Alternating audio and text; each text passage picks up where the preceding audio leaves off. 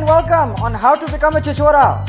Our easy five-step process will have girls running away from you in no time. Step number one, find a girl and make strange hooting noises.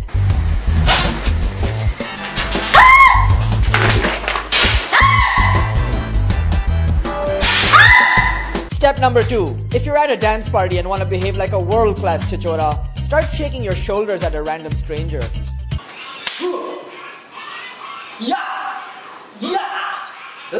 Step 3. The best way to be a chechora on the phone is on the phone.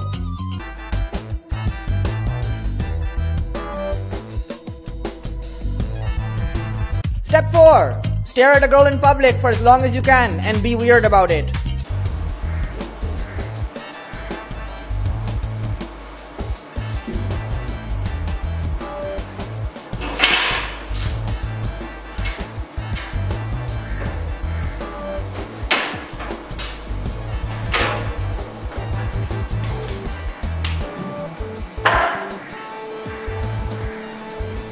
If you have not been shot yet between steps 1 through 4, you may proceed to step 5, throwing parchis into her car.